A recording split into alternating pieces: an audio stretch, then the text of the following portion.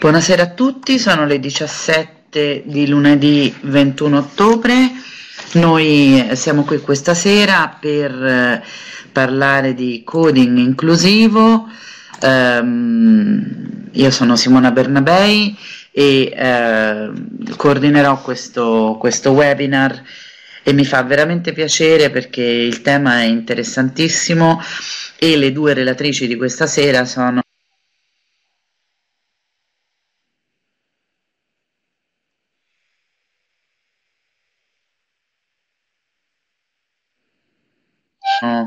veramente due mh, mm, grandi esperte eh, del tema di oggi. Uh, dunque, il, um, io mi metterei in stand by, anzi mi farebbe piacere che le mie colleghe si mettessero un attimo in video così ci, ci presentiamo ci, ci, salutiamo e poi dopo passiamo, passiamo ecco Annalisa, buonasera Annalisa.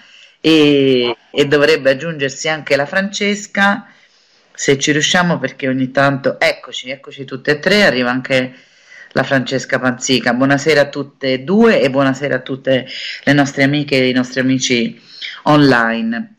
Allora, eh, il webinar di stasera, dicevo brevemente che fa parte del nostro mh, piano annuale di formazione regionale. Noi siamo il gruppo Twinning per la Toscana e Annalisa e Francesca sono due ambasciatrici che poi presenterò un po' più nel dettaglio. Io sono il referente regionale, eh, referente pedagogico regionale e eh, dopo questo evento um, annuncio che ci saranno altri momenti in cui ci incontreremo sia in presenza che eh, online. Adesso condivido velocemente con voi gli eventi futuri. Questi sono eh, gli eventi diciamo grosso modo da qui alla fine dell'anno, eh, dell'anno solare. Eh, questo è il piano di formazione realizzato in collaborazione con USR Toscana e finanziato da Indire, Unità Nazionale e Twinning. E eh, o, dopo questo nostro incontro di questa sera ci sarà un, un incontro in, presen- in presenza all'Università di Firenze dedicato al percorso di formazione iniziale dei docenti eh, poi l'11 novembre ci sarà a Livorno, a Liceo Cesoni, un incontro in presenza dedicato alle twinning ed inclusione. Eh, il 26 novembre a Pontedera ci sarà un incontro presso il Liceo Montale dal titolo Twinning nella costruzione di un curriculum verticale. E infine, eh, almeno fino a dicembre di quest'anno, ci sarà l'ultimo dei nostri webinar per quest'anno, quindi sempre qui sui Twinning Live, dedicato alla, eh, ad e-twinning per un uso consapevole della rete. Ehm, le comunicazioni su questi eventi verranno inviate dall'USR Toscana alle scuole, ma chiaramente per, una, così, per un'informazione diciamo più informale ma sicuramente più veloce eh, vi invitiamo a, a seguirci su, su, Facebook, sul nostro profilo Facebook Twinning Toscana e ehm, e poi seguire anche il nostro canale YouTube dove verrà, eh, dove verrà pubblicata la registrazione di questo webinar appena insomma, il, la piattaforma ci consentirà di farlo. Eh, io eh, velocemente, velocemente ho fatto un pasticcio invece di interrompere, ho, ho allargato a 2000 il, uh, lo schermo. Eh, dicevo, eh, parleremo di coding inclusivo e um, aprirà eh, la serata, il pomeriggio, ehm, Francesca Panzica che è un'ambasciatrice Twinning, come vi dicevo, ehm, ed è una, eh, attualmente è un'ambasciatrice onoraria per la Toscana perché è in pensione dal primo dicembre di quest'anno, scusate, ovviamente dal primo settembre di quest'anno. È una collega che tutti conoscono, eh, grande esperta di, di TIC e eh, di utilizzo delle TIC nella didattica, credo insomma che eh, non, non, ci sia quasi bisogno di presentazione. Eh, presento subito anche Annalisa Di Pierro che è una docente di inglese eh, dell'Istituto Superiore Leonardo da Vinci Fascetti di Pisa, anche Annalisa come vi dicevo è ambasciatrice eh, ed è un'esperta di Tool 2.0 per la didattica ed è esperta di didattica immersiva e realtà aumentata. Ora, ehm, passerei la parola subito a Francesca che, eh, vi, vi, che, farà una chiacchierata sul coding inclusivo per poi passare la parola successivamente di nuovo a me, eh, cioè riprendere la parola di io e ehm, ripassarla poi ad Annalisa. Eh, prima di chiudere il mio microfono e di passare proprio la palla a Francesca letteralmente, eh, volevo invitarvi, eh, nel caso voi aveste domande relative al, all'argomento di questa sera, che insomma credo che sia molto interessante, vi chiederei di um, farla, lasciare le vostre domande, scriverle sul foglio eh, il cui link ho messo sotto foglio domande, in modo tale che, e non nella chat, ma insomma eh, credo che molti di noi seguono spesso i webinar, quindi sanno come funziona e per qualsiasi altro dubbio. Sì, eccomi, buonasera a tutti. Allora, noi abbiamo pensato l'incontro di stasera in questo modo, immaginando di avere un pubblico in cui ci sono anche insegnanti che magari non conoscono bene l'argomento trattato, si è pensato di fare una prima parte illustrativa in cui si parla un attimo di coding e si fanno un po' le e si mettono diciamo i, i, puntini sulle i. Dopodiché eh, sarà molto veloce il tutto se passerò la palla alla collega Annalisa che invece vi parlerà di esperienze eh, realizzate con le sue classi, esperienze di coding con eh, due, due strumenti che dopo vi presenterà. Quindi mi scuso magari con chi è già preparato sull'argomento, eh, anzi mi aspetto che ci siano anche interventi eh, che, che, in qualche maniera possano arricchire anche la mia presentazione. Allora, le coordinate di fondo in cui ci muoviamo. Innanzitutto il coding cosa significa? Stesura di programmi informatici tramite un codice. In italiano noi l'abbiamo tradotto con programmare, ovvero organizzare un algoritmo per risolvere un problema. Questo algoritmo può essere pensato a parole, col nostro linguaggio. Ovviamente deve essere scritto però con un codice, il code che viene fuori, che possa essere riconosciuto dal computer. Che cos'è un algoritmo? Parola eh, che, che, deriva dal, ora non so se lo pronuncerò bene perché è arabo, da Al-Kharizmi, che è considerato uno dei primi autori ad aver fatto riferimento a questo concetto. Fra l'altro era un matematico, astronomo, astrologo, geografo persiano vissuto nell'850 d.C. ed è, dobbiamo a lui anche l'invenzione, tra virgolette, della parola algebra. Un algoritmo è un procedimento che risolve un determinato problema attraverso vari step e appunto attraverso vari momenti, passi elementari. Il nostro quotidiano è pieno di algoritmi e di codici, pensiamo al bancomat, eh, Whatsapp, tanto per fare un esempio, Facebook, le mail, l'email, quindi eh, noi viviamo ormai, ormai immersi nei codici. Il linguaggio di programmazione ovviamente è definito da delle regole precise. Per poter programmare eh, dobbiamo individuare delle regole che, che, permettono ai comandi specifici ovviamente di generare e di arrivare all'obiettivo che noi ci siamo posti, generare il risultato atteso. Una cosa da sottolineare quindi a livello didattico è che il coding è una pratica, non una metodologia, perché a volte le cose vengono confuse. Perché il coding a scuola? Ovviamente l'intenzione non è quella di eh, preparare i futuri programmatori, non c'è mai stata questa idea fin dall'inizio. E non è questo l'obiettivo che si deve porre la scuola, più che altro il focus va sullo, sullo sviluppo di abilità cognitive, su ciò che il coding permette di fare a scuola. Quindi sviluppo di abilità cognitive, lavorare sulla logica, risoluzione di problemi, problem posing, sviluppo di quello che viene ormai definito pensiero computazionale. Che in sé è un processo sia logico sia creativo, alla faccia di chi dice che lavorare con le tecnologie distrugga la creatività. Un processo che permette di scomporre quindi un problema in vari momenti, in varie parti, per poterlo affrontare un pezzetto alla volta, in modo pian pianino di riuscire ad arrivare alla risoluzione del problema generale laddove è possibile. In sostanza, quindi, risolvere un problema pianificando una strategia. Ecco che quindi il, il focus del, dell'introduzione del coding a scuola non è magari poi tanto quello del risultato, che ovviamente è importante anche in questo, ma soprattutto il processo che porta al, a determinati risultati. Pensiero computazionale, fissiamo anche questo, eh, anche questo punto. Questo è un termine che è stato utilizzato per la prima volta da una scienziata americana di origini asiatiche, Jeanette Wing, e significa pensare come un informatico, quindi in modo algoritmico e a livelli multipli di astrazione.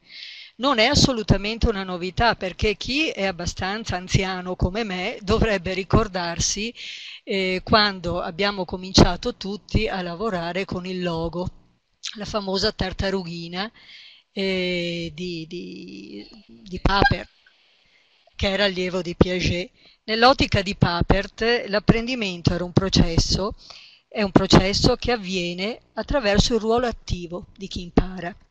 Quindi il bambino deve essere impegnato attivamente ad analizzare, costruire, scomporre, confrontare e poi presentare anche l'oggetto dell'apprendimento.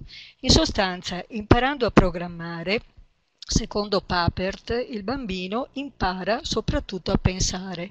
E la cosa interessante di tutto questo è che eh, il bambino quindi attraverso il computer utilizza il computer eh, come artefatto cognitivo. Ora non sto a, a spiegare completamente questo termine che, ri, che, viene fuori molto spesso tra noi eh, docenti interessati all'utilizzo delle tecnologie nella didattica.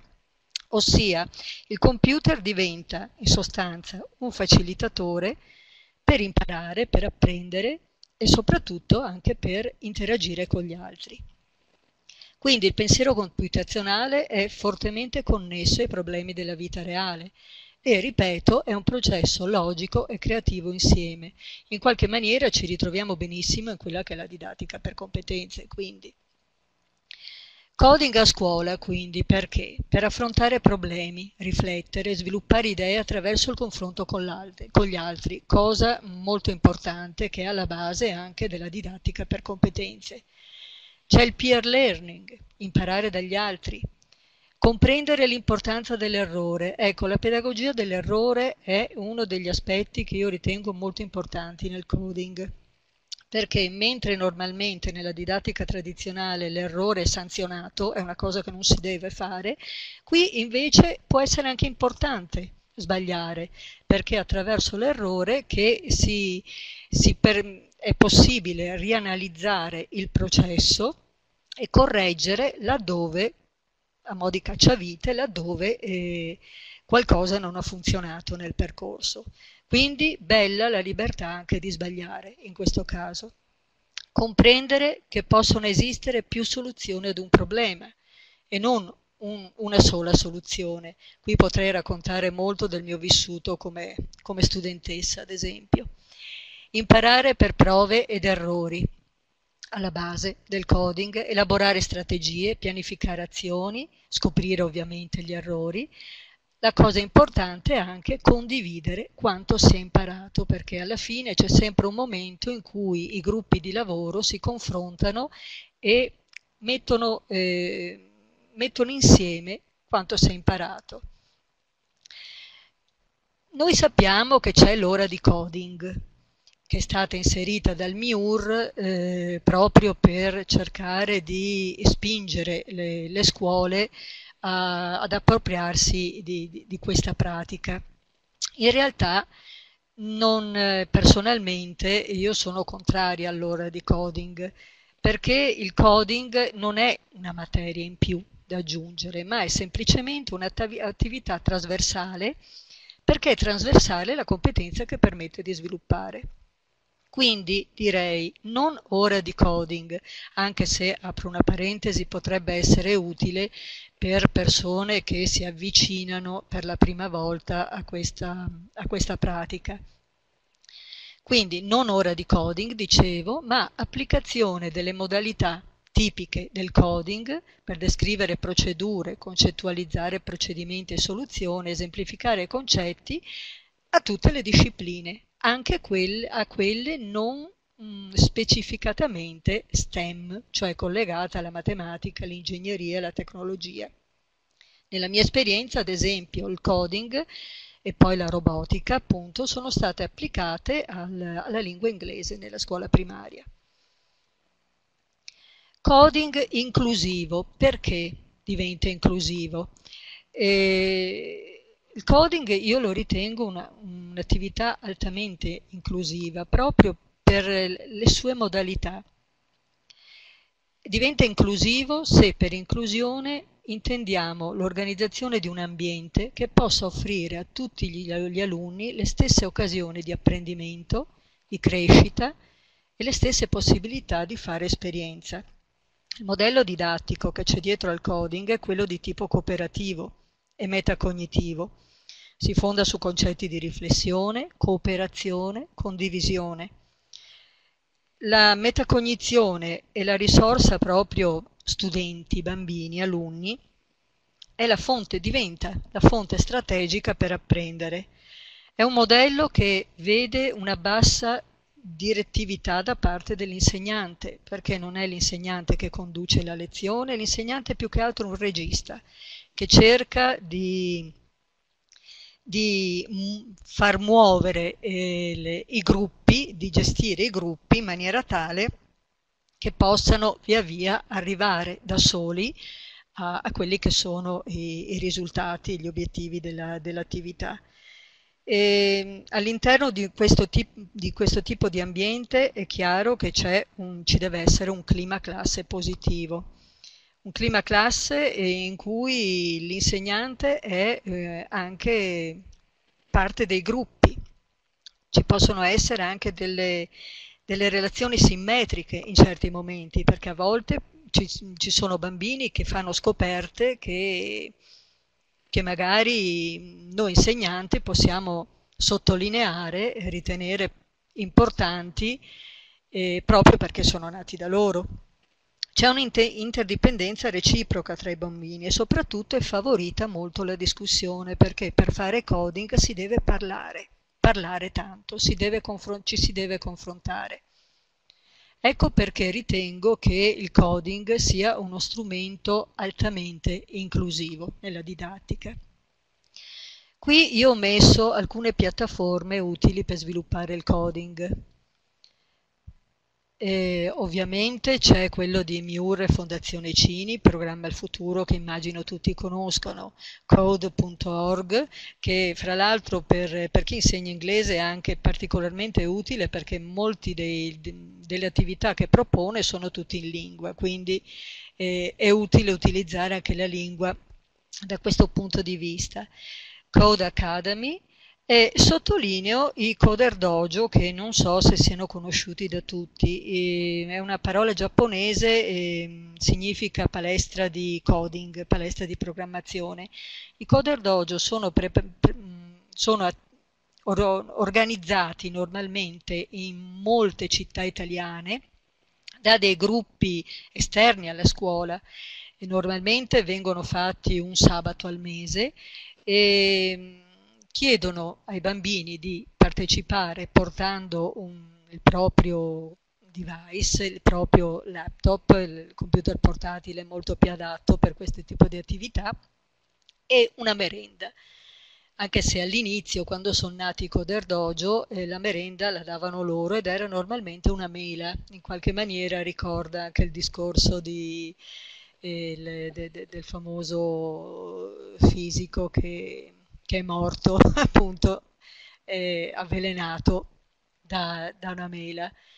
E, ehm, e può essere interessante per tutti voi scoprire se c'è qualche coder dojo anche nella vostra città e magari andare a vedere. Di solito sono, è gestito da programmatori che preparano i percorsi per i ragazzi, viene usato molto Scratch a livello base, mentre i livelli più alti utilizzano delle dei linguaggi di programmazione molto più, più elevati, però è molto interessante andare a vedere che cosa possono produrre i ragazzi, veramente cose a livelli molto alti. Faccio riferimento qui anche a Scratch 3.0 di cui vi parlerà però la collega, è una programmazione a blocchi anche questa.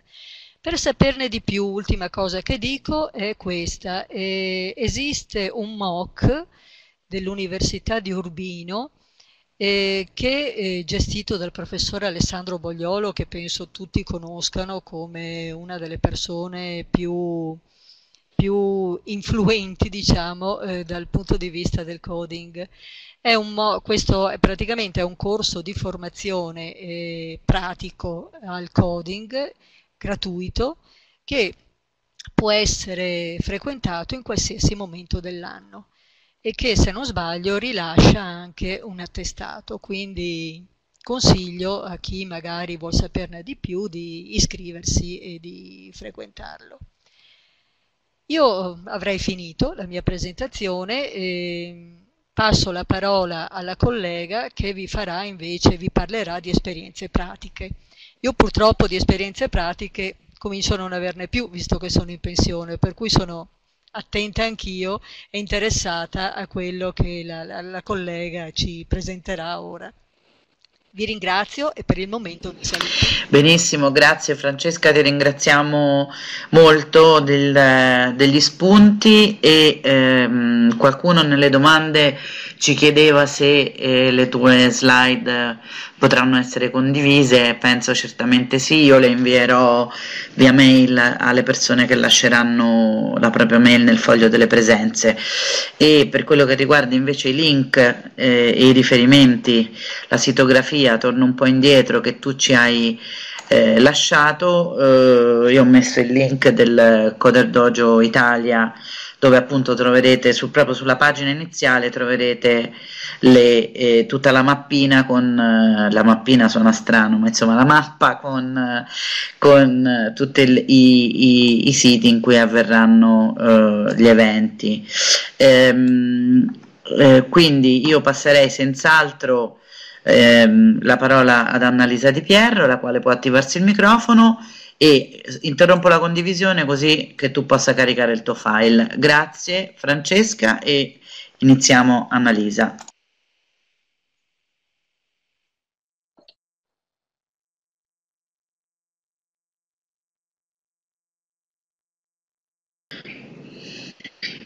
Giusto il tempo tecnico della, della, presentazione che si carica, ecco qui, io mi spengo il, spengo il microfono e sparisco. Ditemi se mi sentite se mi vedete. La tua presentazione, vediamo il cursore che si muove, ti sentiamo bene. Grazie. Metto un attimo.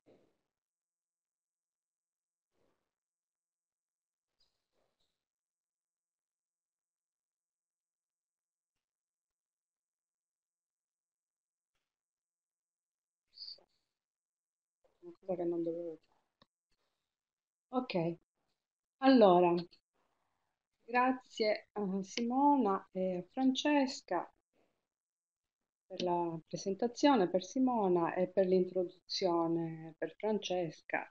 Allora, io ehm, vi parlerò quindi di questi due programmi, eh, però prima avevo preparato appunto un'introduzione in cui appunto dicevo che il coding non è una disciplina, ma un linguaggio trasversale che fa parte della logica del pensiero, sviluppa il problem solving e la creatività. Eh, quando si danno delle istruzioni ad una macchina per svolgere un compito, allora si mette in atto il pensiero computazionale. Eh, il linguaggio di, pro di programmazione permette di creare giochi, animazioni e storie interattive. Quindi il, il coding promuove l'inclusività perché facilita la collaborazione, lo scambio di idee e il tutoraggio fra pari. Queste sono cose appunto che vi ha detto già eh, anche Francesca. Eh, anch'io avevo inserito eh, queste due, questi due link nella mia presentazione Code.org e CodeWeek Italia. Ehm, volevo farvi vedere un attimo eh, Code Week Italia, che appunto è questo sito molto interessante dove ci sono mh, tutte le informazioni di cui avete bisogno, potete eh, fare mh, attività, esercizi, insomma è abbastanza, è molto utile. C'è anche quello eh, europeo, però ehm, insomma se siamo italiani possiamo anche adoperare quello italiano. Ehm,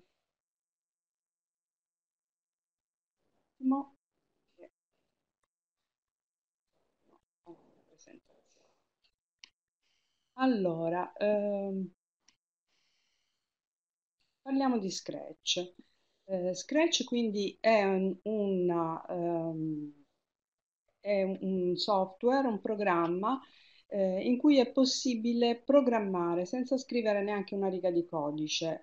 Eh, e questo ovviamente per eh, tutti i non informatici, tutti quelli che non hanno conoscenza di informatica, eh, agevola moltissimo.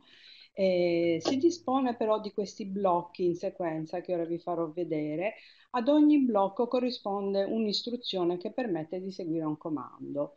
Eh, quindi il codice si trova dietro il blocco. Ora mh, mm, mi collego al... Ehm,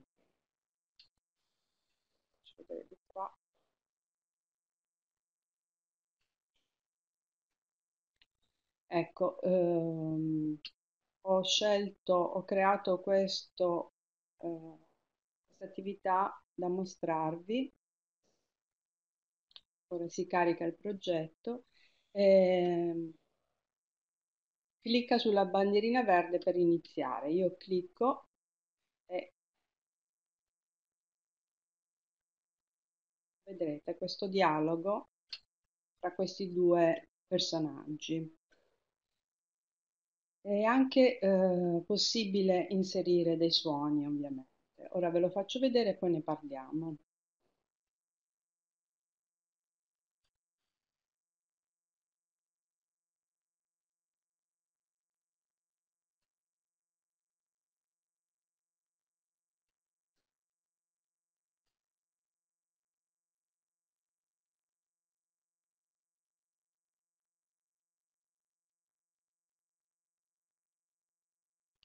Ok, allora, ehm, io non so se eh, quanti di voi già conoscono Scratch o ehm, non hanno mai Annalisa, scusa, mi intervengo soltanto per dirti se eh, magari puoi provare ad alzare un pochino il tuo audio perché qualcuno dice che non si sente bene.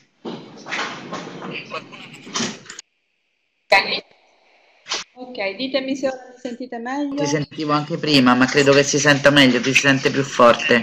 Grazie. Ok, grazie, grazie. Ok, perfetto. Allora, Scratch, eh, andiamo nella pagina eh, principale di Scratch, nella home page e eh, da qui potrete eh, ricevere tutte le informazioni ehm, potrete ricevere tutte le informazioni di cui avete bisogno per conoscere questo strumento. Eh, è bene registrarsi, cioè entrare nella community di Scratch e, e quindi eh, è possibile creare o esplorare. Questa è una funzione molto interessante perché ci sono tanti progetti già eh, creati che si possono ehm, guardare eh, e eh, allo stesso tempo se ci interessano si possono anche copiare. Ora io ne prendo uno a caso, vi faccio vedere com'è possibile. Non mi piacciono. Ah, vediamo questo qui, di che cosa si tratta. come al solito sì.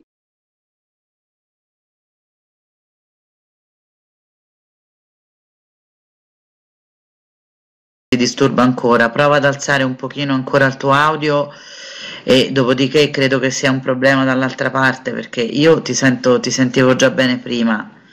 Magari prova a alzare un, un pelino l'audio tuo, per favore, scusami.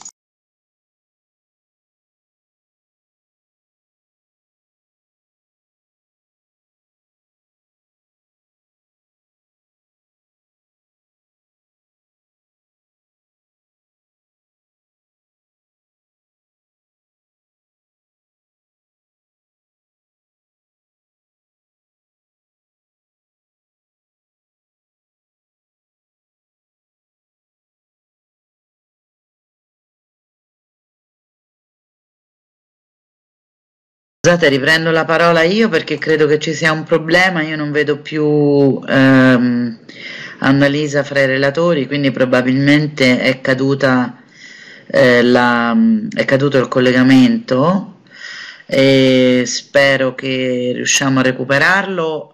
Nel frattempo eh, volevo dirvi che ehm, qualcuno, qualcuno ci ha chiesto anche se il eh, materiale del webinar, quindi l'audio, insomma, il nostro webinar vero e proprio verrà, eh, sarà fruibile nuovamente e la risposta è sì, eh, perché noi stiamo registrando, quindi poi lo pubblicheremo ehm, sul canale YouTube Etwin in Toscana dove potrete, potrete riascoltarlo.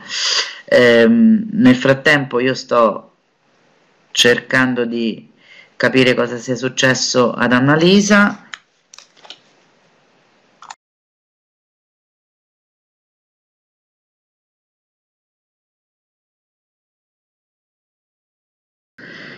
Allora sono sempre io, sono sempre Simona Annalisa è scomparsa quindi um, un, attimo di, un attimo solo di pazienza cerco di, cerco di contattarla per sapere cosa è successo un attimo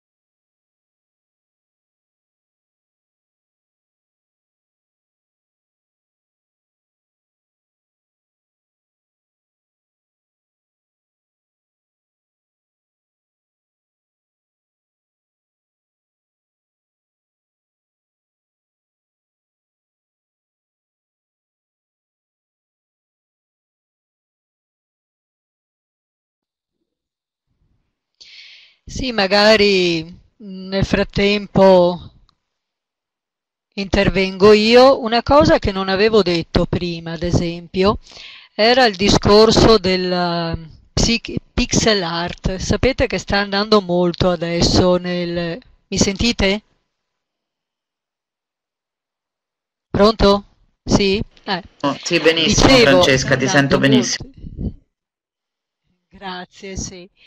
Eh, dicevo che sta andando molto nei social, nei social eh, attualmente eh, fare pixel art, praticamente vengono costruiti dei disegni con, eh, attraverso un codice eh, che poi vengono normalmente colorati dai bambini. E, è un'attività che vedo fare soprattutto con bambini di scuola primaria.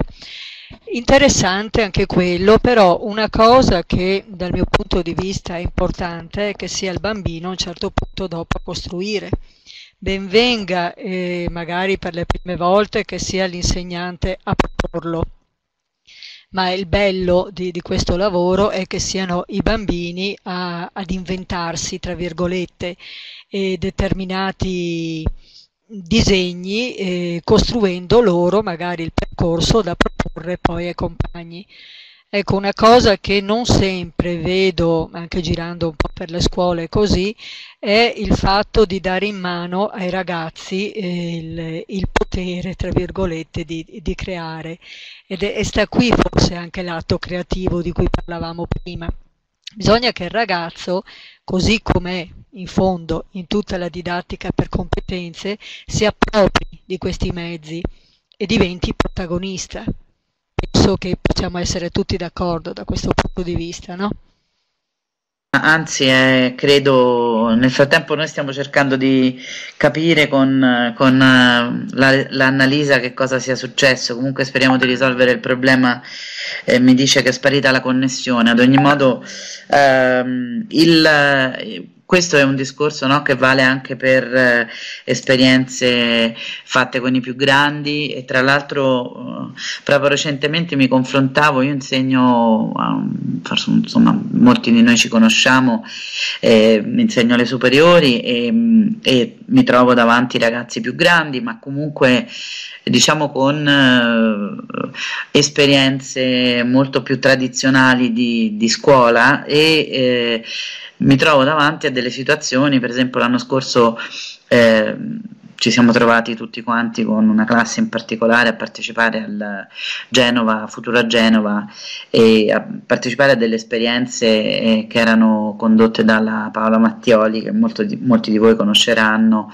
E, e, che diciamo lei normalmente tipicamente fa con i bambini molto con i bambini, ecco loro non erano bambini ma si sono cimentati con uh, un, un, un, tipo di esperienza che li metteva al centro e che li metteva a confronto con dei problemi concreti. E questo per loro è stato una, un'attività che ha, li ha scatenati, li ha resi creativi, entusiasti e ancora oggi mi dicono, sa, noi rispetto a come facciamo certe cose, lì abbiamo toccato con mano anche il, la sensazione di essere noi al centro delle esperienze, di non essere voi ovviamente loro, i ragazzi poi sono gentili no? anche per questioni diplomatiche, non ti dicono che ci fate la lezione frontale, ci, delle volte ci mandate in, in, in letargo, no? ma eravamo noi a fare delle cose e quindi questo per loro era fondamentale. Quindi credo che sia, come dicevano sia Francesca che Annalisa, trasversale ma anche verticale, molto molto adatto, poi complicando, diciamo, creando una complessità mh, graduale, queste siano attività che si possono fare, anzi si devono fare e si, ci, si, ci si diverte, ma anche noi ci divertiamo, per esempio con l'ora del codice, anche nelle, non solo alle medie, ma anche nelle primissime classi, nelle prime classi del biennio, perché si possono creare delle situazioni sempre più complesse, dei problemi sempre più complessi da risolvere. Eh, dunque, vediamo un po' com'è la situazione. Ecco, l'Annalisa è tornata. Intanto io ringrazio ovviamente Francesca per eh, l'ulteriore contributo. Annalisa, tu adesso dovresti avere il microfono aperto, eh, cioè dovresti... Ok, sento che si sta collegando. Ci sei Annalisa? Sì, scusatemi, non so che cosa... Mi sentite? Sì, sì, ti sentiamo. Mi sentite?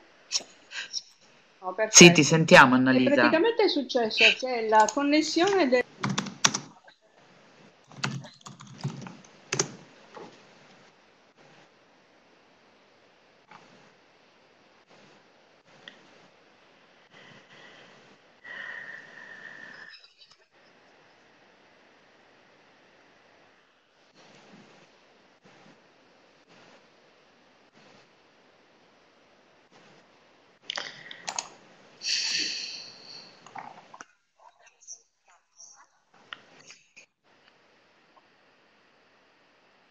il mio modem è scomparsa e quindi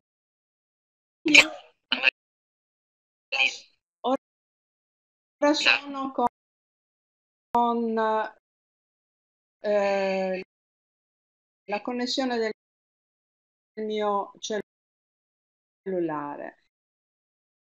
Eh, eh, sapete che c'è stato un cattivo tempo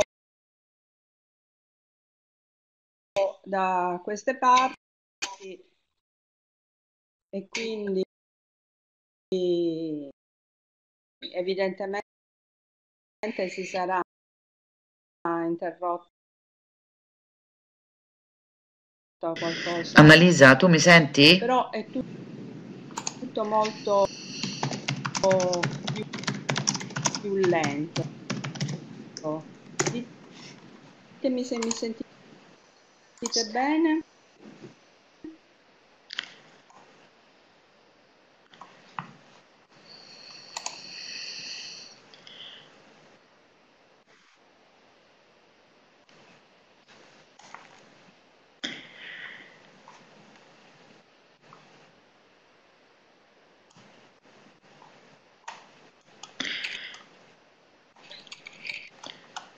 Un attimo di pazienza, per favore, eh, perché stiamo cercando.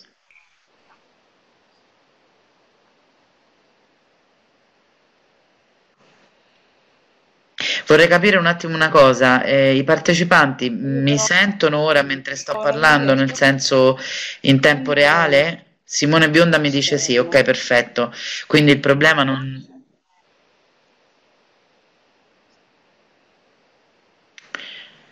Allora, io provo a comunicare, provo a comunicare con Annalisa e, in altro modo, un attimo solo. Ok, infatti vedo Brigida che ci dice il problema è con Annalisa.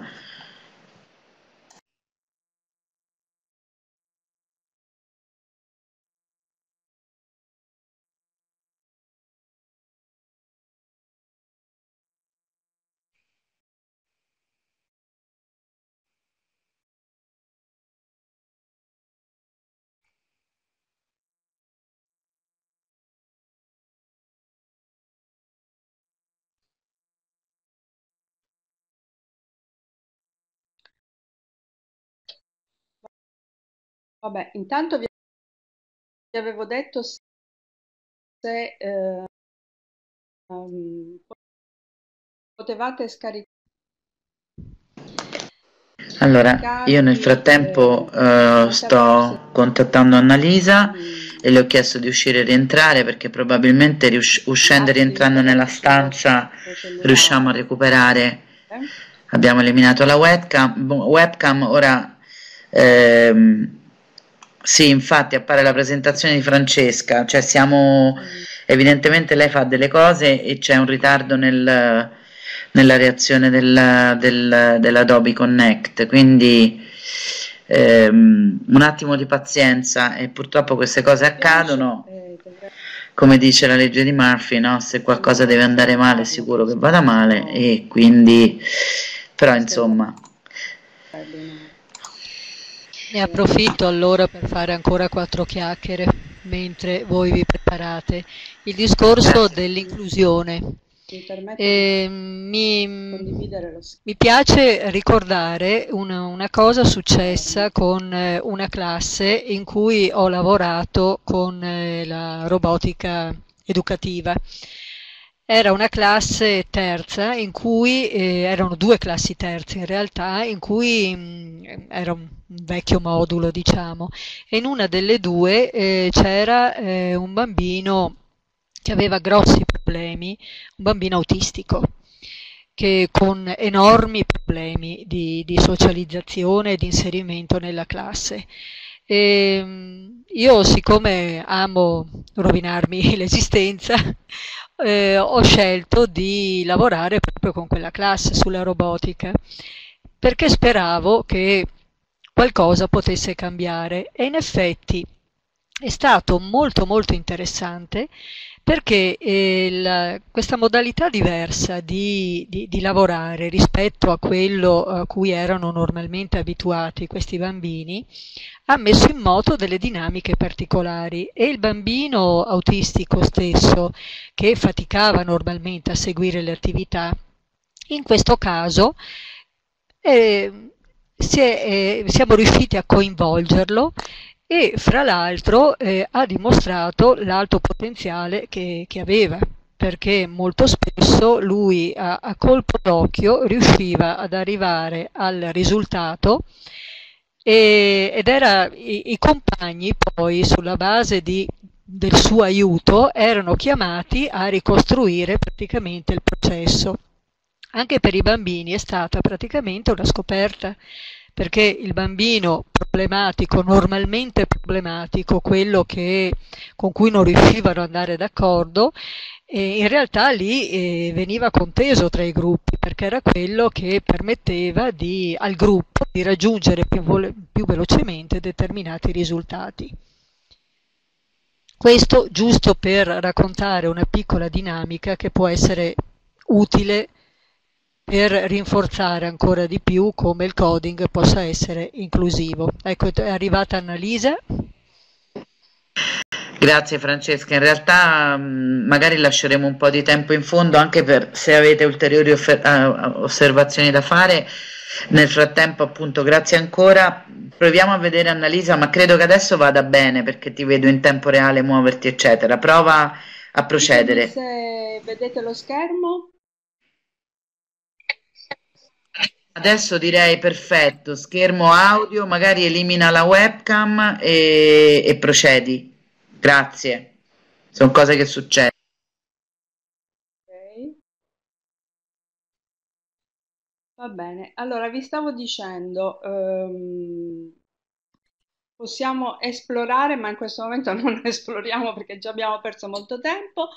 Eh, questo era um, l'attività che avevo creato per voi, la guardiamo dentro per vedere com'è fatta.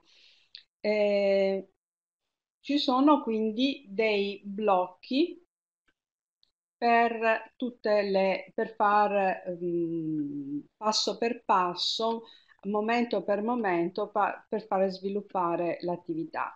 Eh, abbiamo il blocco del movimento dove appunto ci si può muovere eh, il blocco dell'aspetto in cui si può eh, parlare, cioè tramite questi blocchi possiamo mh, far parlare i nostri personaggi, il suono perché possiamo inserire dei suoni, eh, suoni già stabiliti dalla, ehm, dalla libreria di Scratch, ma anche possiamo registrare noi dei suoni eh, possiamo registrare le voci dei ragazzi, per esempio, dei bambini, possiamo fargli dire delle cose, registrare la loro voce e poi aggiungerla eh, qui in Scratch.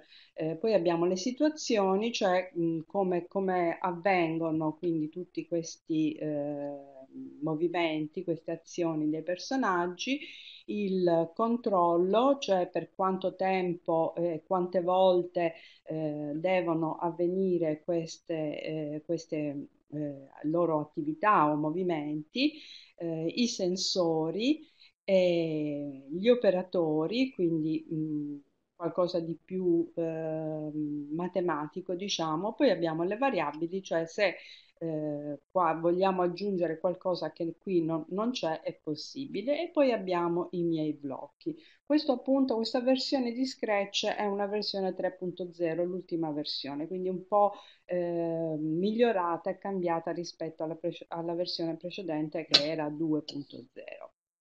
Qui infatti ci sono i miei blocchi eh, che sono questi, eh, la musica, la penna, eh, il testo, da testo a voce, cioè è possibile appunto ri, ehm, registrare la propria voce o anche usufruire di una voce già predefinita e poi altre eh, possibilità, aggiungere altre eh, attività come Make Make, Microbit, Lego Mindstorm, eccetera.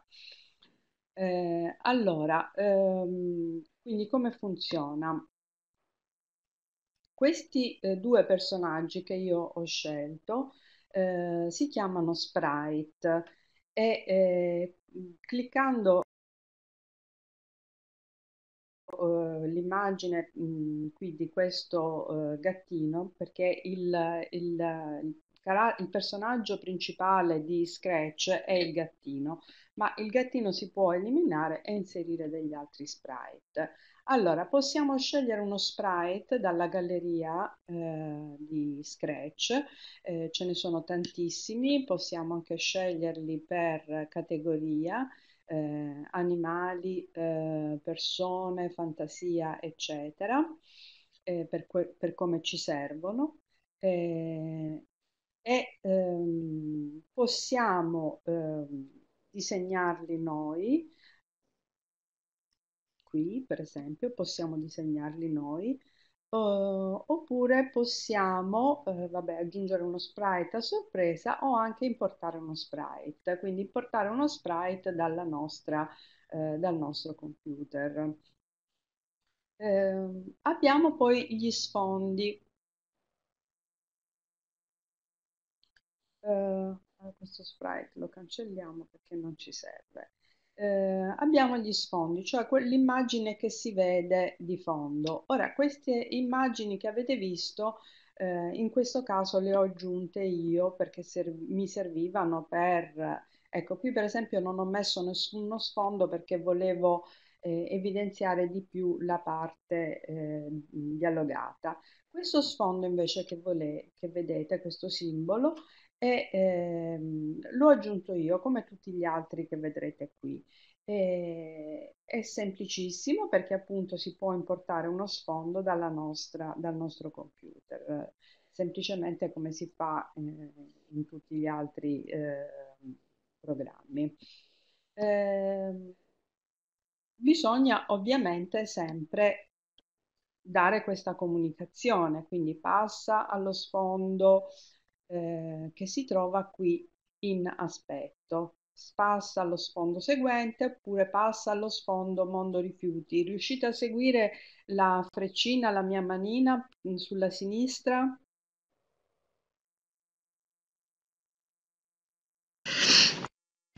Direi di sì. Perfetto, sì, sì. Leggo, sì, sì, sì, leggo le, i commenti.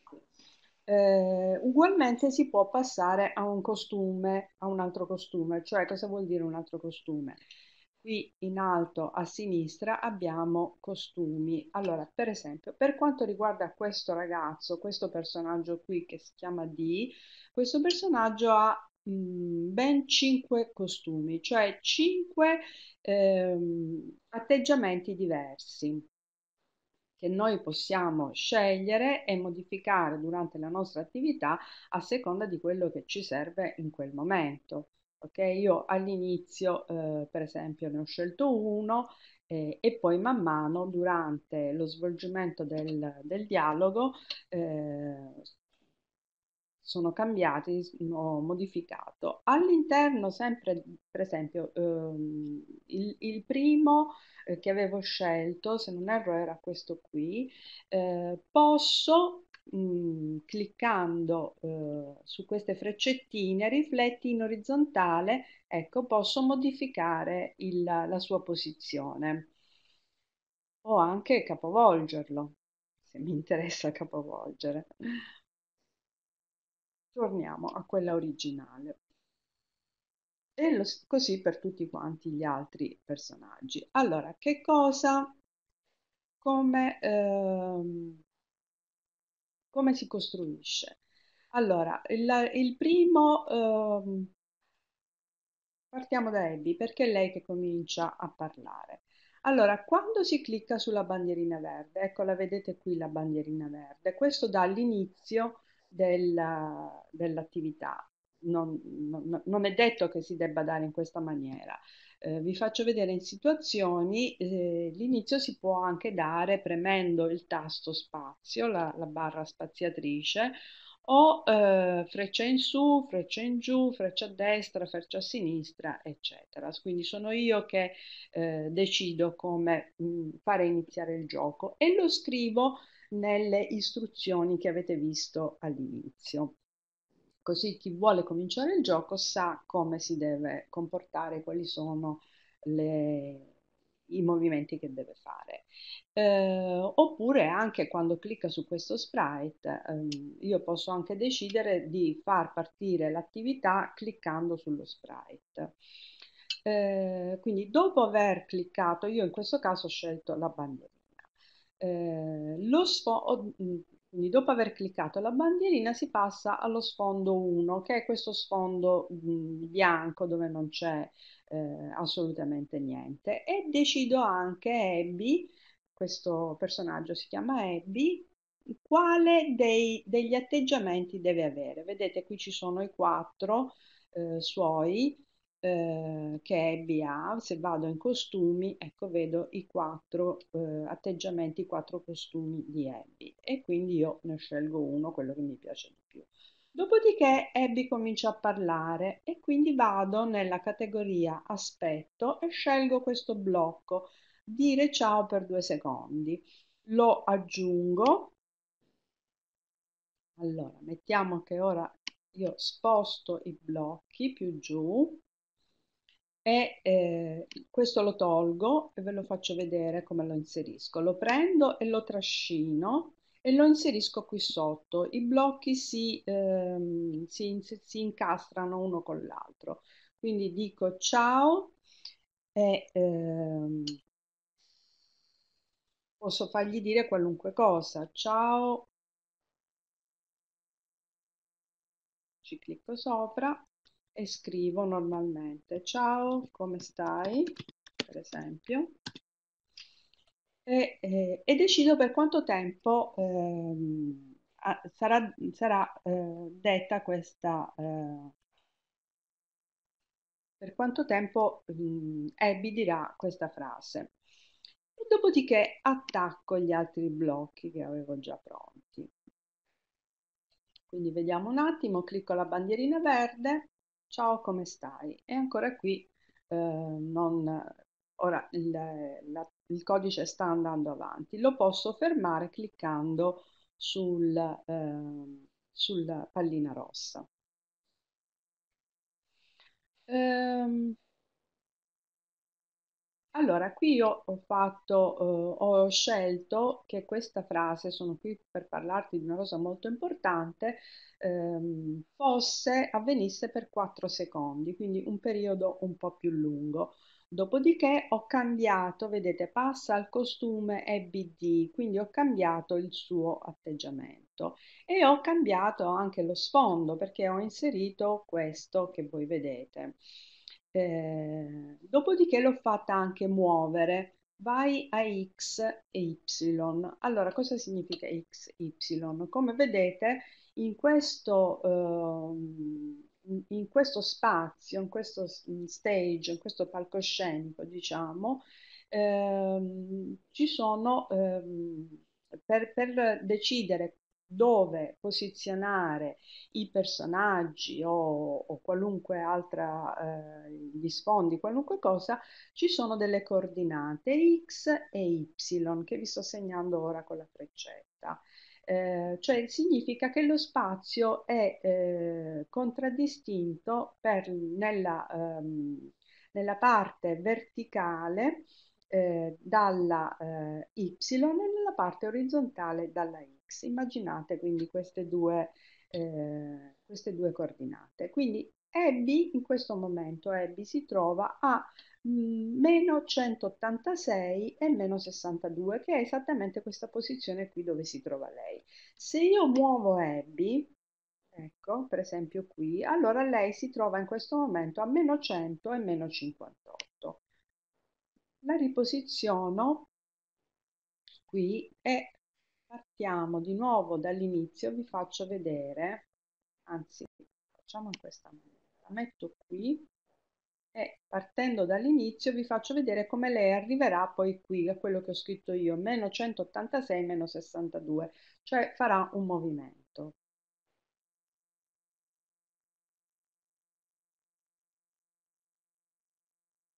Ecco, vedete, Abby si è spostata. Si è spostata, prima era più qua, più a destra e poi eh, è andata in questa posizione. Come è possibile fare questo? Eh, allora, intanto vado a movimento, il blocco movimento, e, e le dico, ecco qui, vai a X, prendo questo blocco e lo attacco qui. Lo attacco qui sotto, ok? Se questo blocco non mi interessa, lo prendo e lo rimetto in questa eh, lista di blocchi e viene praticamente cancellato. Ehm, dopodiché, appunto, ehm, Abby continua a parlare e dice conosci questo simbolo?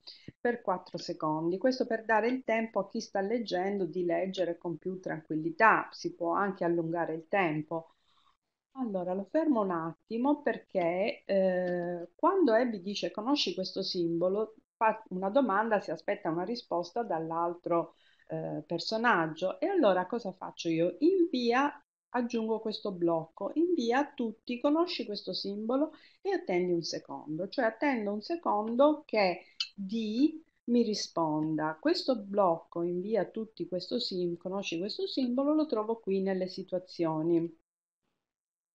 Invia a tutti, eccolo qui. Poi c'è anche quest'altro, invia a tutti, per esempio, invia a tutti e attendi. Ma comunque io mh, mm, ho, ho, inserito l'altro blocco attendi un secondo sotto, quindi va bene così.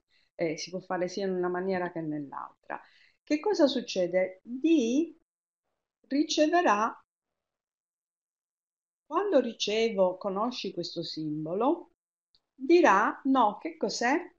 invia a tutti no che cos'è, cioè invia a tutti la sua risposta. In questa maniera si può costruire il dialogo, quindi ma inviando delle domande ma anche eh, inviando le risposte o altrimenti si può semplicemente eh, fare tutto il dialogo con, misurando il tempo, i secondi, quindi dando il tempo a, eh, a di, di leggere e anche di rispondere. Dopodiché Abby continua a parlare. Quando ricevo no che cos'è, quindi la risposta che gli aveva dato di, eh, attende un secondo e poi lei continua eh, a parlare. Vedete qui ci sono tutti i blocchi dire e, mh, dire e cambiare atteggiamento e cambiare sfondo. E ugualmente per eh, D ci sono tutti eh, gli sfondi e tutti i cambiamenti di costume e le cose che lui dice. Potremmo farlo anche a scuola, che ne pensi? Allora, ditemi finora se eh, è chiaro, se avete mh, mm, bisogno di qualche altra eh, informazione. Com'è? Penso sì, penso che sia chiarissimo e ci sono anche state delle osservazioni in chat mentre parlavi, per esempio eh, io adesso scorro la chat, Maria Teresa Silvoni eh, dice che ha realizzato un cartellone con la possibilità di attaccare i blocchi con il velcro così da spostare l'ordine dei blocchi stessi e, e ci spiega insomma ehm, come procedeva per non sovraccaricare eh, gli alunni di, infor- di troppe informazioni. Ehm, diciamo che il, il, no, mi sembra che non ci siano problemi nella spiegazione, mi sembra che sia molto, molto chiaro. Puoi andare avanti. Allora, eh, sì, grazie, ok. Eh, è possibile anche lavorare in, eh, non è necessario essere per forza connessi perché eh, Scratch si può, eh, si può lavorare con Scratch anche unplugged, cioè si scarica Scratch nel computer del, dell'insegnante, del docente, si eh, proietta il, l'immagine di Scratch nella LIM e i ragazzi possono, se si tratta di bambini piccoli, insomma della primaria, eh, che magari non hanno chiaramente con sé il, un altro computer o un tablet, possono lavorare in questa maniera mh, mm, sullo schermo della LIM con il, eh, il, programma della docente che non è necessariamente eh, ehm, collegabile con ad internet, ma appunto può scaricare il, il programma di, di, Scratch nel proprio computer. Eh, volevo farvi vedere che qui era possibile cambiare la lingua da questo mappamondo e, comunque ci sono tantissimi tutorial sia sul, sul Scratch che eh, su YouTube per imparare ad usare tutti i vari blocchi che eh, veramente è molto molto facile, molto facilitato, proprio perché si, si vuole dare una più ampia diffusione possibile eh, di questo programma. Eh, vi faccio, ora sono già alle 6, quindi c'è pochissimo tempo, però vi volevo, avevo eh, preparato altri, ecco qui ci sono, se voi andate ne, dal vostro profilo poi le mie cose, potete quindi vedere tutti eh, i, i, programmi, tutte le, le, attività che avete creato, vi faccio vedere per esempio questo della eh, tabelline, i, I, ragazzi comunque sono molto più bravi di noi e non hanno nessuna difficoltà a creare e, e a lavorare con, con, Scratch. Questo deve essere una cosa mh, chiara. Io vedo di anno in anno, ogni anno faccio usare Scratch, faccio usare altri programmi e vedo il, di anno in anno il, la, la, capacità che hanno loro di, eh, di di migliorare, di lavorare, sono sempre più nativi digitali ovviamente, quindi veramente tante volte sono, sono loro che insegnano a noi. E Annalisa, posso interromperti un attimo per farti una domanda che arriva dalla chat che mi sembra interessante. Eh, ce ne sono altre, poi magari le mettiamo un attimo in coda e questa era un po' diciamo sul pezzo in questo momento. Eh, Brigida chiede se si può realizzare uno storytelling con Scratch. Certo, certo, io l'ho dato, lo storytelling l'ho dato come attività, per esempio, durante il- le vacanze di, di Natale, ho dato l'inizio di una storia eh, e poi ehm, i ragazzi dovevano eh, continuare adoperando Scratch. Ecco, questo nel 2016, vediamo se eh, riesco a farvelo vedere. Si clicca sempre sulla bandierina verde per iniziare la storia. I ragazzi hanno moltissima fantasia e, e, e quindi Scratch è, è un, un, uh, uno strumento bellissimo per uh, dare uh, spazio alla loro creatività. Il, um, l'inizio della, della, storia che avevo dato era appunto quella, ehm, ci si trovava in, una, in un castello, in una situazione ehm, un po' strana, eh, misteriosa e eh, c'era il personaggio principale con un cane e eh, loro dovevano andare avanti e creare poi la loro storia. E questo ragazzo ha creato questa storia. Eh, molto, eh, un ragazzo di scuole superiori, quindi mh, mm, ha adoperato anche dei, eh, dei personaggi, insomma, abbastanza semplici. Devo farvi vedere un attimo.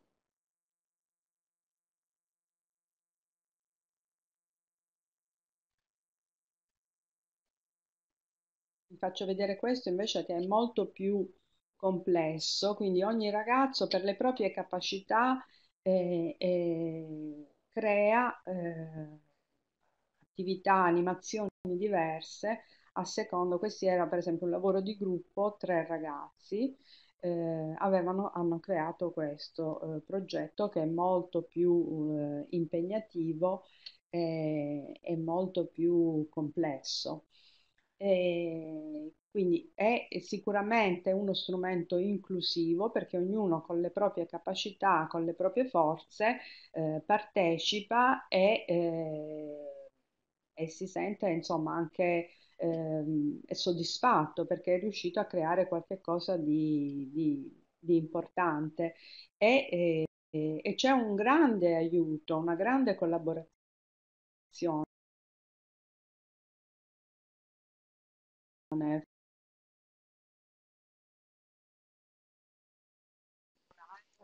Allora, credo che siamo di nuovo in un momento di stallo. Io farei in questo modo, approfitterei e eh, sì, infatti Francesca ho visto che è sparita la voce, approfitterei per aprire qualche eh, per leggere qualche domanda.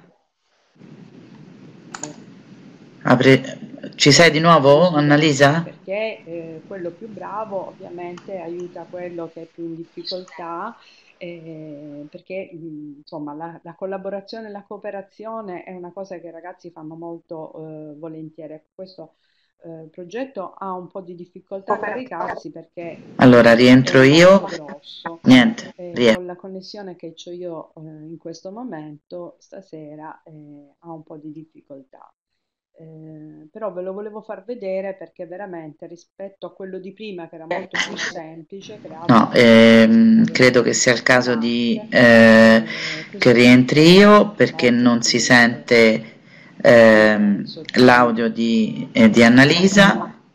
E mh, vi dicevo abbiamo alcune, alcune domande. Vabbè, io però vorrei, siccome questo non lo sta caricando, con questa eh, connessione... Ci sei Annalisa? Perché il tuo audio praticamente non si sentiva più. Magari ve lo farò vedere qualche altra volta. Eh, a proposito, volevo, eh, approfitto di questo webinar per segnalare che eh, io eh, ho un gruppo eh, insieme con altre due eh, ambasciatrici italiane che si chiama Methodologies and Digital Tools in cui appunto eh, spieghiamo eh, non solo noi ma le, eh, tutti gli ambasciatori che vogliono come adottare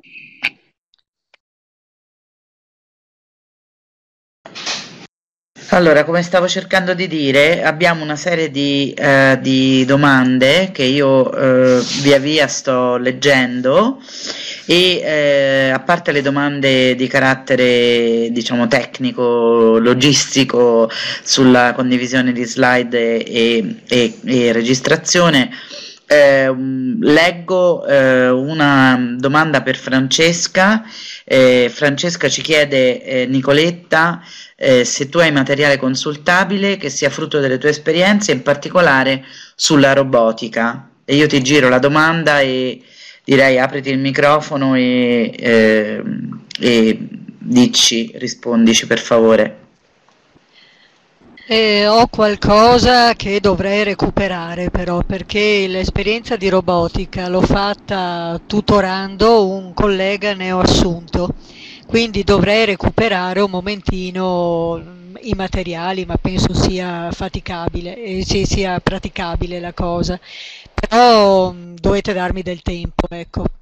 Altrimenti ho qualcosa di, a livello di, di, di, spiegazione, insomma, ma penso che a voi interessino di più le, le, le esperienze. Ci sono delle esperienze eh, realizzate da alcune mie colleghe perché l'anno scorso, quando mm, ero a scuola, io ero distaccata, negli ultimi due anni sono stata distaccata come, come vicaria, però eh, ho seguito esperienze di robotica all'interno del mio istituto e avrei un paio di, di esperienze interessanti che potrebbero essere presentate. Mi piacerebbe che le presentassero le, le persone però che le hanno fatte.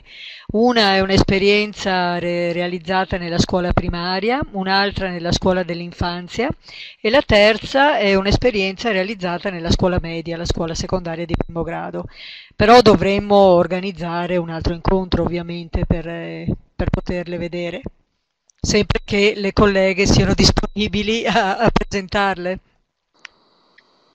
Ma io penso che se questa cosa fosse possibile, ecco, se le tue colleghe fossero disponibili a, a presentarle, possiamo senz'altro organizzare un altro, un altro incontro. Quindi questo senz'altro, non credo che ci siano problemi, insomma, per questo. Ok, quindi grazie per questa tua prima risposta.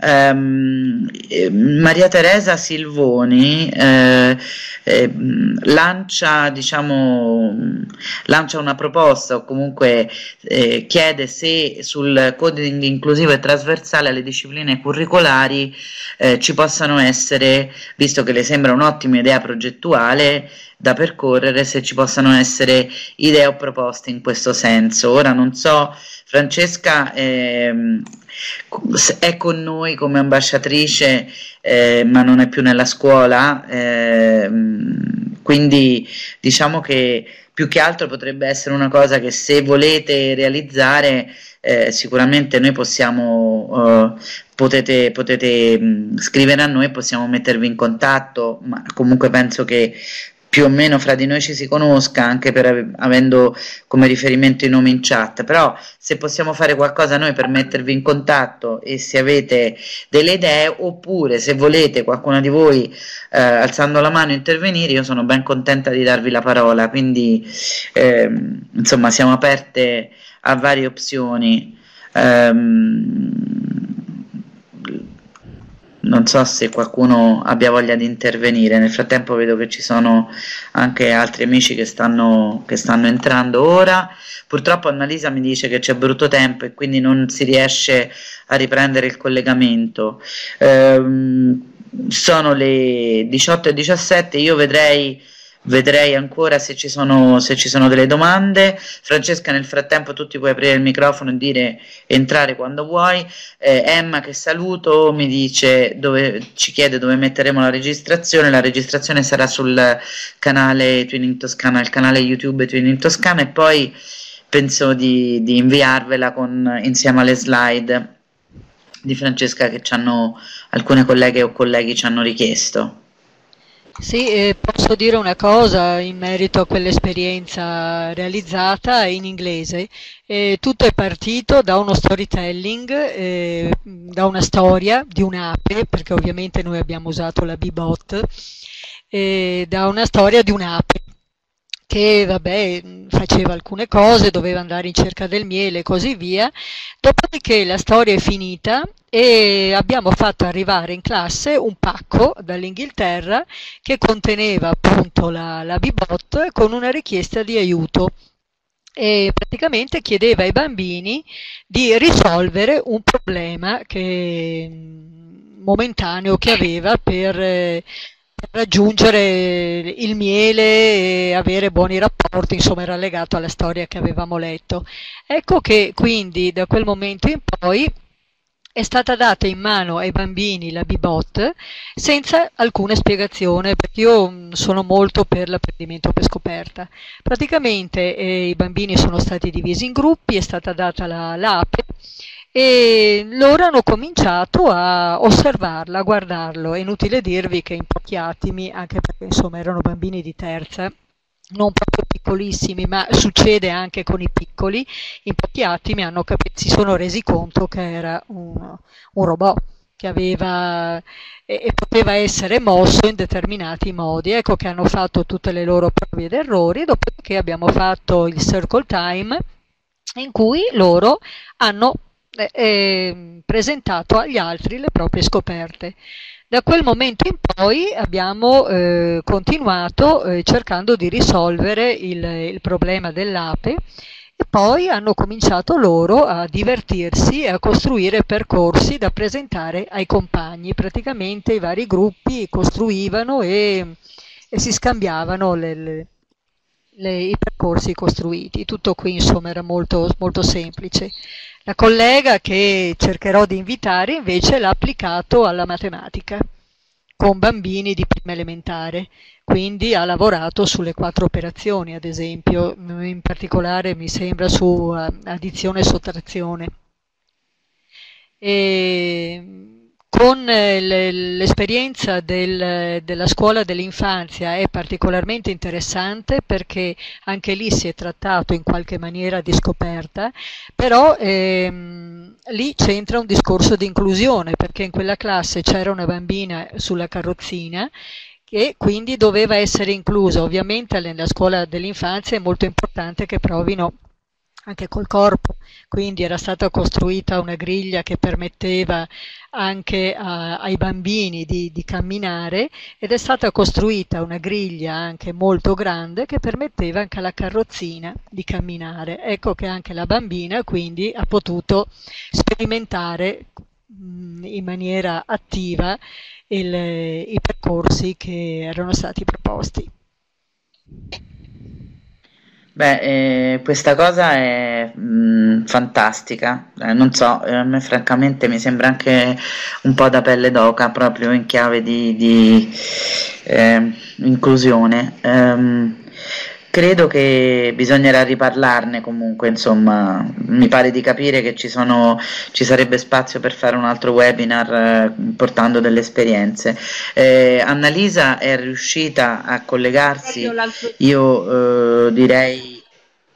Sì, ti cederei la parola. A proposito di inclusione, volevo dire, siccome mh, ho terminato proprio l- la settimana scorsa la, la Code Week è eh, un, un, ragazzino di prima, superiore, quindi 14 anni, 15 anni, eh, autistico eh, che ha, si è invece mh, con Scratch si è aperto tantissimo sia ai compagni che, che con me, eh, ha parlato, ha, ha, interagito con noi in una maniera veramente straordinaria. Quindi questi sono degli strumenti che veramente eh, fanno miracoli per questi ragazzi, eh, perché proprio non si sentono più eh, osservati, giudicati, lavorano mh, con grande felicità e, e, e allegria e, e, producono e mettono in pratica veramente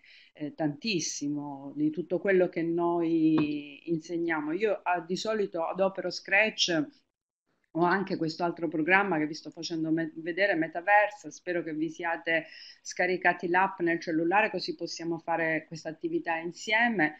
E, e praticamente eh, cioè, mh, mm, è, è, veramente una cosa incredibile, incredibile. L'inclusione, io adopero, eh, stavo dicendo, questi strumenti di solito al termine di un modulo, mh, mm, sia come eh, revision insomma, della, de, degli argomenti che sono stati trattati come pratica, come esercizio, anche per vedere, anche per, come valutazione, perché tante volte io, cioè, io do sempre dei voti piuttosto che eh, fare un compito scritto, preferisco fare un'attività di questo genere perché eh, posso valutare sia la, le loro conoscenze della materia, io insegno inglese, quindi dell'inglese, che altre eh, competenze trasversali.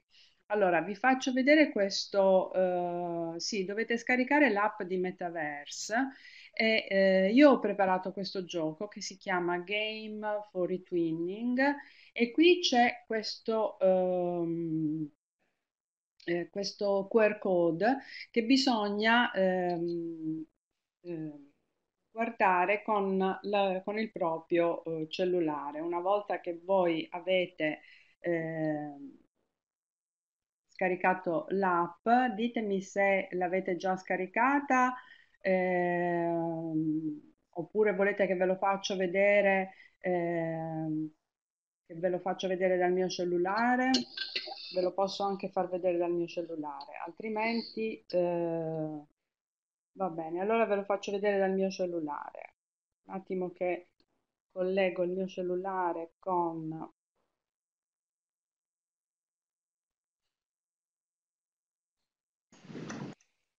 No, direi che mh, chi poteva scaricarlo credo che l'abbia scaricata, per cui penso che tu possa procedere anche perché sono le 18.24, purtroppo il tempo è tiranno, quindi io procederei. L'immagine del mio cellulare sullo schermo. Vedete, vedete la,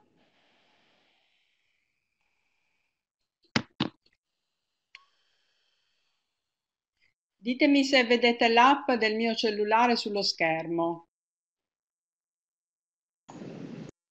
Però non sento più Annalisa.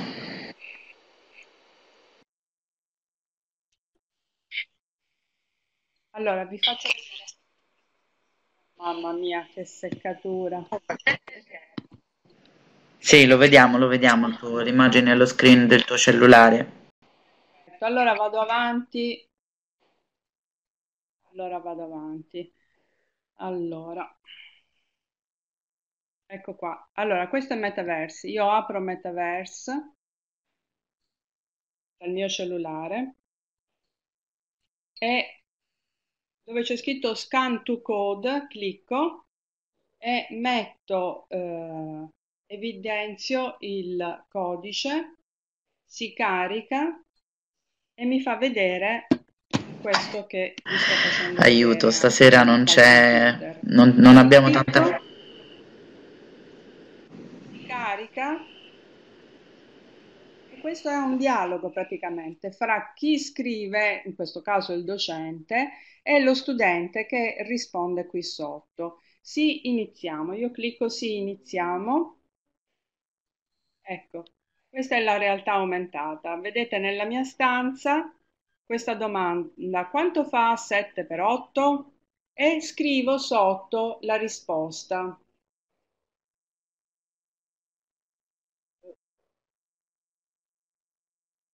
E premo next. Ecco, 56, vedete? Quindi il ragazzo ha risposto correttamente. Vado avanti, next.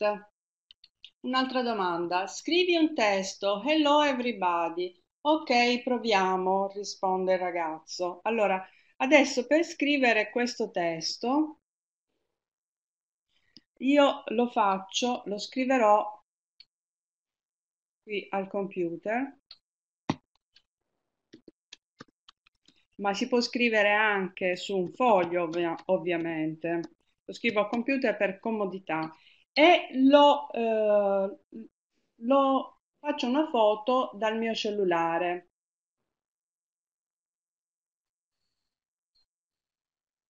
Ora vediamo se mi ha riconosciuto questa scritta. Ora dipende dalla connessione se me l'ha riconosciuta oppure no.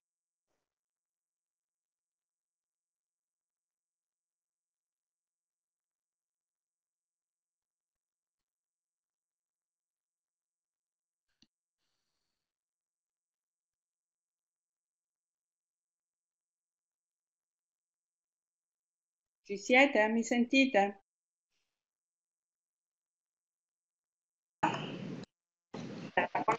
Non... Mi sentite?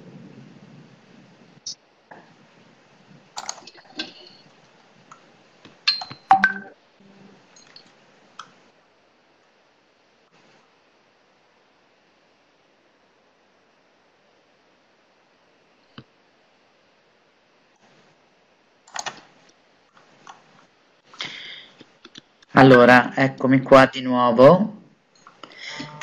Questa sera veramente le condizioni meteorologiche sono... Non so, non capisco perché la voce va e viene. Annalisa, tu mi senti?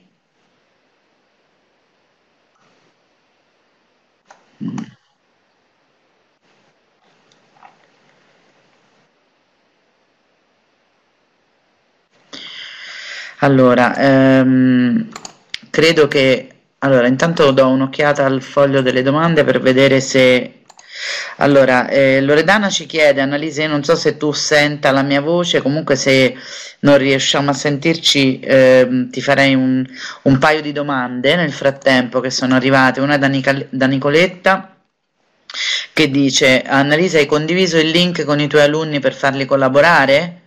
La condivisione online non è ancora possibile perché l'account è individuale. Eh, quindi se puoi rispondere a questa prima domanda e poi Loredana ti chiede metaverso funziona anche con i tablet giusto? se ci senti batti un colpo io provo a rirenderti relatore ma non so Sì, Annalisa, se, eh, se, è ok, sta scrivendo, perfetto. Metaverse funziona anche con i tablet e ehm,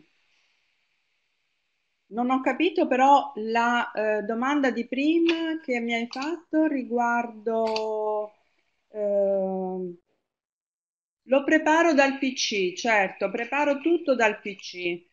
Preparo dal PC, ora vi faccio vedere, sono sempre dei blocchi.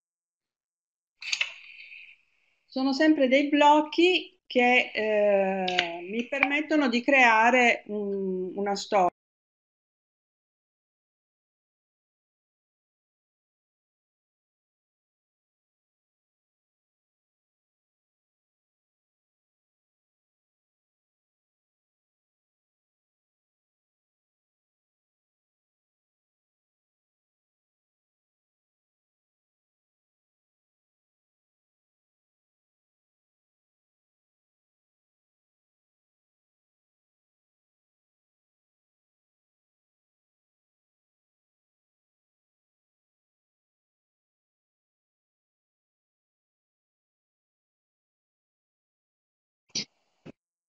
Allora, io eh, però dunque proviamo a fare un ultimo tentativo, poi eventualmente proviamo a vedere se ci sono ancora uh, delle domande e salutiamo anche perché lo slot sta finendo alle 18, sono le 18.31, quindi proviamo ancora Annalisa e, ed tu hai il microfono aperto, io vedo, proviamo ancora un attimo ed eventualmente ci daremo un appuntamento per il futuro quando sarà possibile, visto che eh, anche Francesca eh, ci parlava di, della possibilità magari di coinvolgere eh, alcune sue colleghe in, nel racconto delle loro esperienze. E comunque, insomma, mi sembra che il comune sentire sia quello di, di eh, magari iniziare una collaborazione anche con il tempo, diciamo con il filo rosso del, sul filo rosso, con il filo rosso del coding.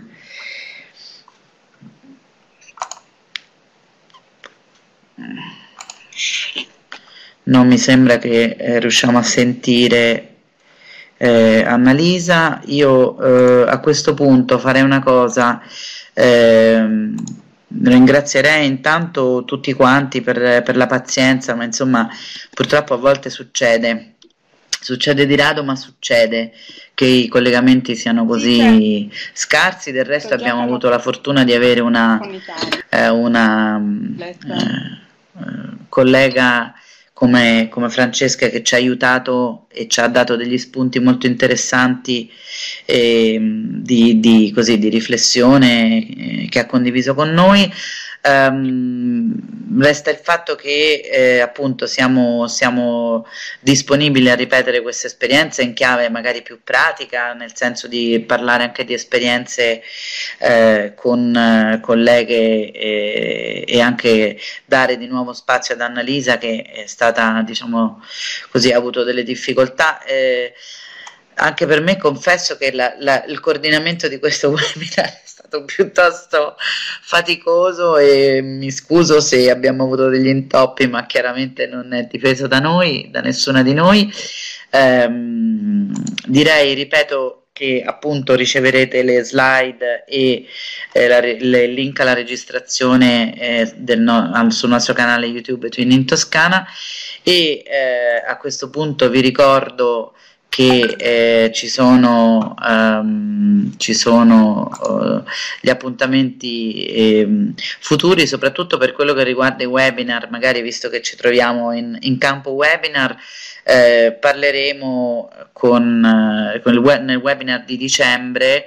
Eh, parleremo uh, di eh, uso consapevole della rete con, un, con Emma Pietrafesa che è una ricercatrice che collabora con INAIL e si occupa del, dell'utilizzo delle tecnologie in, e del loro collegamento, del, del collegamento con, con, il benessere, ma eh, ha scritto molto sul tema dell'uso consapevole della rete. Credo che eh, sia molto interessante, eh, sia un tema davvero anche questo molto interessante a cui temiamo, teniamo, teniamo non temiamo, teniamo molto. Eh, Lucia Iannucci, Iannucci, scusami, ci dice, ci potete aggiornare per i webinar tramite mail? Um, direi che um, per adesso utilizziamo il canale eh, del, della pagina Facebook Twinning Toscana e um, molto volentieri noi pubblichiamo lì re, mh, aggiorniamo la situazione dei nostri eventi e mh, grazie a te, figurati, eh, grazie a Giorgio Pontuale che va via anche lui e, e vi, a questo punto io vi saluterei ringraziando Francesca, se riusciamo facciamo un ultimo saluto e, e poi eh, chiudiamo il collegamento. Francesca, a te il microfono. Sì, io vi ringrazio, mi dispiace per gli inconvenienti, ma ci possiamo dare appuntamento un'altra volta. Io intanto cerco di convincere i colleghi. Un ringrazio tutti e un caro saluto. Io ringrazio te Francesca tantissimo e vi porto, vi, vi do i saluti anche di Annalisa che mi sono arrivati via Whatsapp. E eh, ovviamente grazie a tutti voi, eh, speriamo di, di, riuscire a continuare questa, questa, così, questa dibattito, questo tavolo che si è aperto qui oggi pomeriggio, anzi insomma se in qualche modo, ripeto, volete mettervi in contatto ci fa molto piacere di, di eh, darvi una mano a farlo e eh, anch'io vi saluto, vi ringrazio e vi do appuntamento alla prossima occasione. A presto, buona serata.